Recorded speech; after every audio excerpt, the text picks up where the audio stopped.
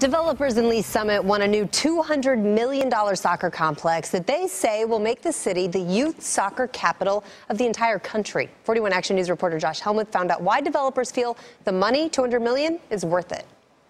Developers told me they've been working on this project with the City Council here in Lee's Summit for years, and they're confident this empty land off I-470, about 100 acres, won't only just be 10 synthetic state-of-the-art soccer fields, but a hotel, dining, shopping, entertainment, even apartments. Now, the project's name was just announced as Paragon Star, their anchor being KC Select Soccer Club.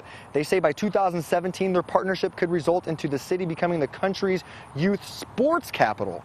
Groundbreaking likely wouldn't even begin until next year, but a presentation will be given to the City Council on August 6th. Until then, we won't know how much public funding will be put into it, but some funding will be private. Either way, developers feel it's a done deal and something the city will absolutely love as long as people are patient. There's zero infrastructure on this site. There's no water, there's no electricity, there's no sewer, there's nothing. And they also expect this area to become a hub for rugby, lacrosse, even opening some continuing biking and walking trails. Reporting from Lee's Summit, Josh Helmuth, 41 Action News.